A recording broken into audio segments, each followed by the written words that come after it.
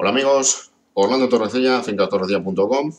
Vamos a hablar de la doble garantía hipotecaria, un caso concreto. Bueno, ya saben que la doble garantía es que si vas a comprar una casa, la vas a hipotecar, el banco te dice, pues con esta casa no nos cubre para darte el préstamo. Entonces te piden más casas, te piden más eh, fincas, más inmuebles para meterlos en la hipoteca, o sea, más garantías.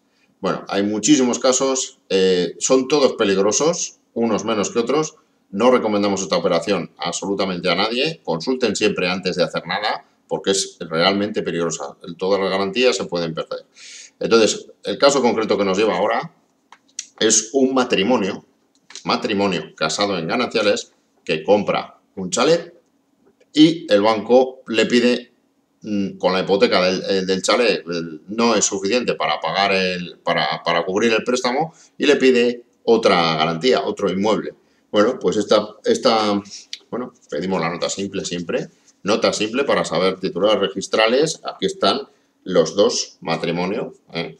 los dos matrimonios y las cargas que tiene el inmueble. ¿eh? Importante, importante siempre, siempre sobre el objeto inmobiliario la nota simple. ¿eh? nos lo pueden pedir a nosotros, en fin, ahí tienen la página registrador.org, etcétera. Entonces, aquí comprobamos que efectivamente esta, esta segunda casa que le ha pedido el banco en garantía del préstamo del chalet eh, es de los dos. Esto es bueno porque la decisión la han tomado los dos, no han metido a terceras personas y esa casa era propiedad suya, bueno, pues pueden hacer lo que quieran. Han decidido meterla como garantía en el préstamo del, chalet, pues bueno, perfecto.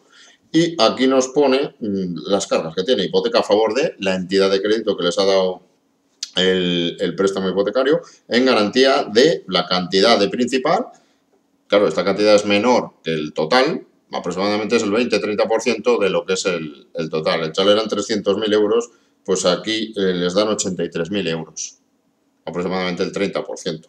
O sea, eh, garantía de 83.000 euros de principal, 10.000 euros de intereses ordinarios, 30.000 de intereses, 8.000 de costas y gastos, 1.600 prestaciones accesorias, en virtud de una escritura, ta, ta, ta, notario de Bilbao. Bueno, pues ahora esta pareja lo que quiere hacer es vender esta casa y claro, nos pregunta qué tiene que hacer.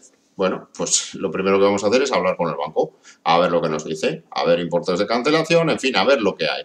Y la escritura de constitución de hipoteca, a ver lo que dice también, ¿no? Si hay alguna cosa que no sepamos. Pero bueno, en principio lo primero es hablar con el banco y que nos digan los importes, a ver lo que, a ver lo que nos dice.